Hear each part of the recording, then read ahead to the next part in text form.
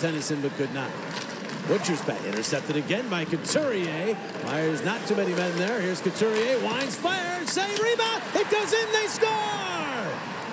Lindblom was in the vicinity again.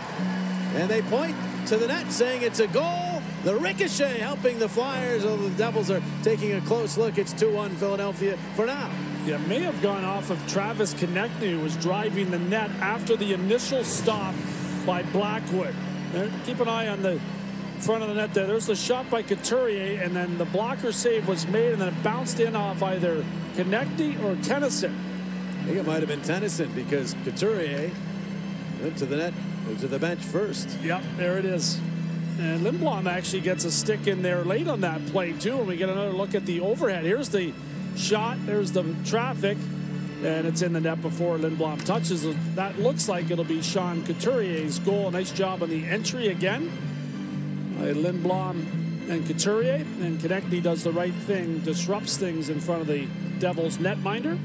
There was a little contact there. So I'm sure the Devils are examining it closely, but it appeared to happen after the initial stop was made and there was some pushing going on.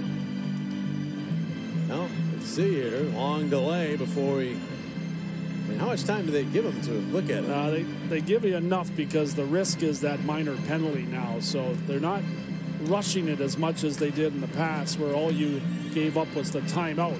Get this wrong, and you ended up shorthanded and down a goal. There's one more look at it. The Devils did the right thing in not challenging it.